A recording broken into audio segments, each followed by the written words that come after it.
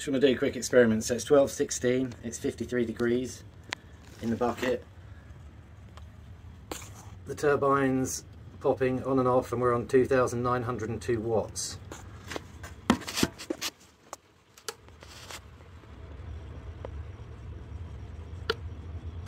Right, I'm clearing that.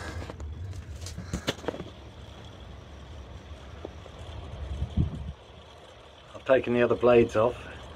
Seems to be running very well, so when it gets up to speed, it is actually putting 600 watts in straight into there. It's connected to the heater bucket. Let's see if we get a gust.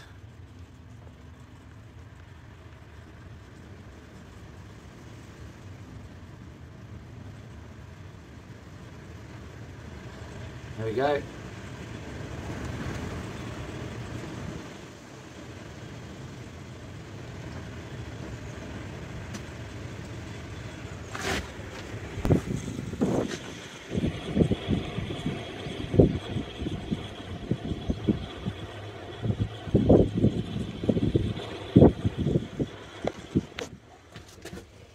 So what we'll do, we'll give it one hour and then we'll come back and we'll see how much. There's another gust.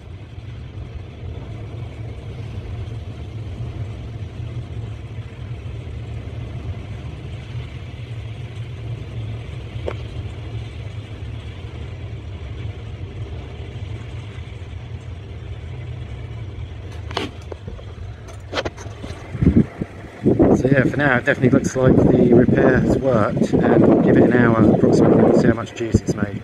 Cheers.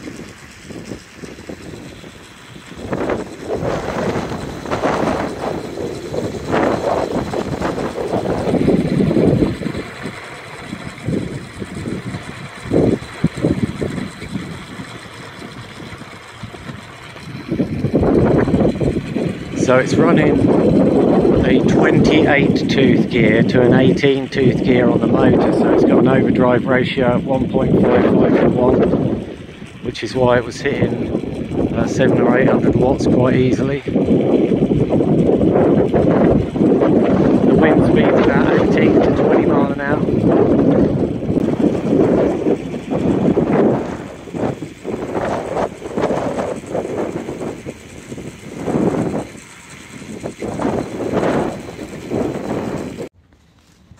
Right, so it's one hour 40 minutes later. The wind's been approximately 18 mile an hour most of the time.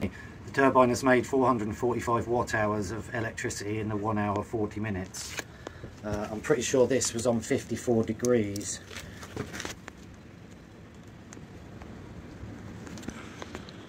Now it's on 169.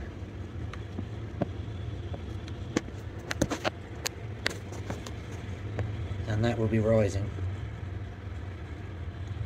So that's 169.8.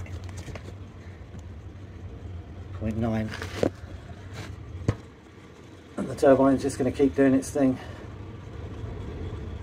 So yeah, that's 445 watt hours in one hour 45 in one hour 40 minutes. I'm not saying that's brilliant, but we've got the sand up to a respectable 170 degrees from 54 degrees in one hour 40 minutes. I'll see you in the next video.